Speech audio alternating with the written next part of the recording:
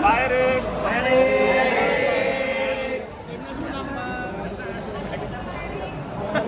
Yes. Maju dikit.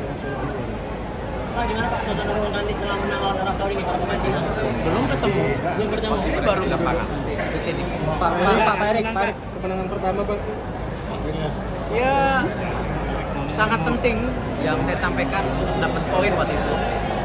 Eh, tadi saya lihat kita sekarang urutan 3 dengan 6 poin, Australia 6 poin, tetapi nanti ada game antara Australia dan eh, Bahrain. Ya, jadi kalau kita di 3-4 ini saya rasa kita harus terus push karena yang saya bilang masih ada dua pertandingan yang di tempat kita yang kita harus juga eh, dapat poin semaksimal itu. Jadi tetap. Yang cakup apa Pak? Evaluasinya, evaluasi apa Pak? ya semua lah. Kan eh, kita harus pastikan kita masih ada waktu sampai Maret jadi ya eh, kita harus benar-benar hitung gimana kondisi pemain ada yang cedera atau tidak ini macam-macam. Karena ingat loh Januari itu ada eh, transfer window. Jadi beberapa pemain kita pasti eh, juga ada ya hal-hal yang mungkin kita harus perhatikan. Dan pasti yang saya selalu bilang kita harus punya dua kali 11 berarti kan Justin kartu merah eh, di game berikutnya dia tidak bisa main jadi kita perlu menambah lagi ya eh, dengan situasi eh, pemain-pemain yang ada ya semoga saja Mes dan Kevin bisa recovery bisa memperkuat lagi lini pertahanan kita Pak, Pak, setelah menang- kemenangan ini berarti nasib Sintayong gimana Pak? Aman Pak? Kenapa? Nasib Sintayong berarti aman Pak? kan tadi saya bilang semua kita evaluasi timnas hari ini gimana Pak malam ini? Pemain timnas menurut Pak Erik Eh, bermain dengan 352 kita punya kesempatan di lini tengah kita cukup eh, bisa kontrol bola. Ya itu yang mungkin menjadi kunci beberapa kali serangan balik yang efektif.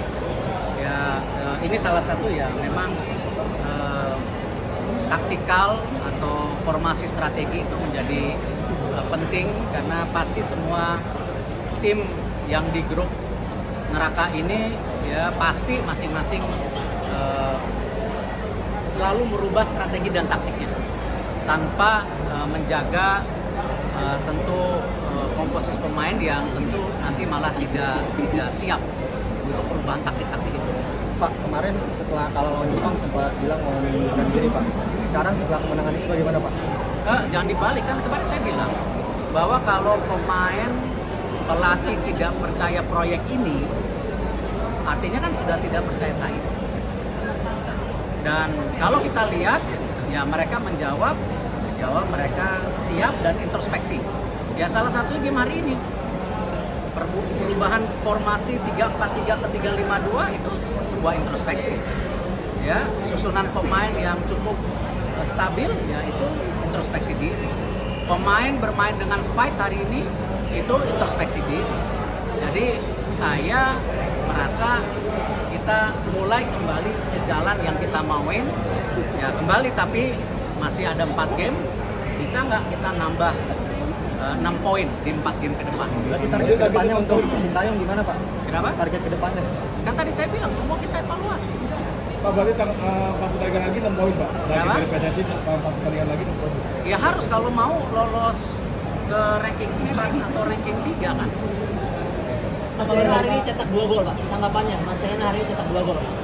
Marcelino memang salah satu pemain terbaik yang Indonesia miliki dan eh, saya rasa dia perlu eh, apalah dorongan stabilitas karena kan usianya muda tapi kalau diberi kesempatan eh, dia bisa tinggal eh, publik saya harap untuk pemain-pemain muda kita seperti Marcelino jangan ketika main bagus dipuja tapi ketika para pemain muda ini perlu sandaran kita mencemoohkan. Nah ini kembali uh, pemain-pemain ini perlu waktu beradaptasi, ya kasih kesempatan mereka. Kalau Emil Pak, Emil kan sempat udah peluk-pelukan sama Bapak terus kemudian kemarin Emil siapa? Raiders eh, Oh iya. Tadi masuk tapi nggak terus lagi Ya kan kembali itu pilihan pelatih. Saya kan nggak bisa uh, ini.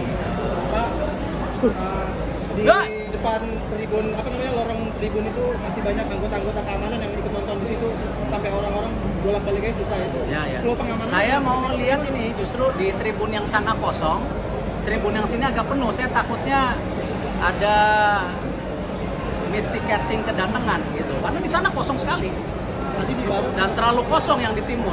Itu aneh. Jadi nanti kita review lagi. Tapi kalau saya lihat kan pelaksanaan juga jauh lebih baik lah ya. Saya rasa media juga bisa melihat eh, bagaimana para supporter bisa eh, nyaman dan tentu kita jaga terus kualitasnya. Pak Pak, setelah ini Piala AFF persiapannya gimana Pak? Belum, tunggu, baru napas. Kan setelah Baru ini Pak, kandangnya di mana Pak? belum tahu Pak Jokowi Pak. Pak Jokowi buat